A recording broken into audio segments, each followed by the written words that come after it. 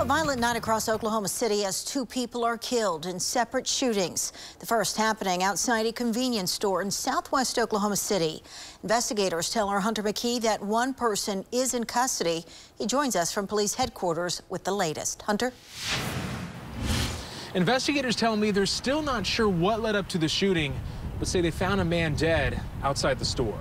Just after 10 last night, police got a call that multiple people had been shot outside of this 7 Eleven near Southwest 29th and Blackwelder. When they got there, they found two people who had been hit. One of which was deceased, and one was taken to an area hospital where she is uh, listed in stable condition. We're told the man who passed away was shot in the head and the woman in the back. Investigators say a person of interest was taken into custody, but it's not clear if they're the ones who fired the shots. Police are still piecing together the relation between those involved and what the motive was behind this. Detectives are working on that.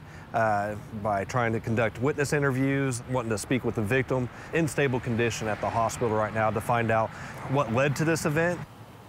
And investigators say no one else was hurt during the incident, and it's still unknown how many other people were involved. If you have any other information on this case, you're asked to call the homicide tip line at 405 297 1200. In downtown Oklahoma City, Hunter McKee, Oklahoma's Own, News 9.